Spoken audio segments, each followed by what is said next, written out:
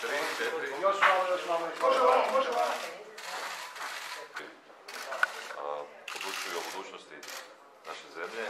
S jedne strane je narod koji traži želi promjene, s druge strane je odnarođena politička klika različitih političkih orijentacija i boja koja je premrežena korupcijom, što smo raskrinkali na svim razinama u ovoj kampanji.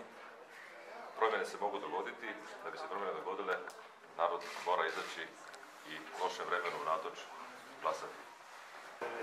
Trebamo promjenu. Ne znam, evo. Ja, ja mislim da hoćemo. Hvala, sam ne znam koliko mi promjenu.